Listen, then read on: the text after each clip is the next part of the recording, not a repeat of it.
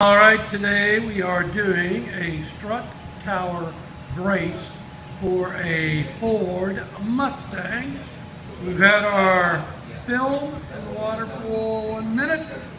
Remember, you got to have your temperature right at 89 degrees. Spraying the activator on it.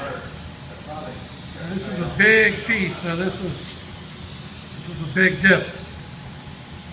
As you can see, the piece. See if I can miss those bubbles right between. I need to go up the. Alright. based it in red, doing black It's not moving. carbon Yeah, I'm fiber. waiting for it to. There it goes. Looks like it's going.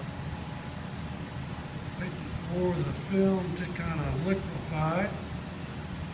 And now it's going in. We want it to wrap all the way around. Looks like it did better that time though. Looks like we have a winner winner. It's definitely a lot better wrapped. Yeah, great, looks great. Yeah, good job.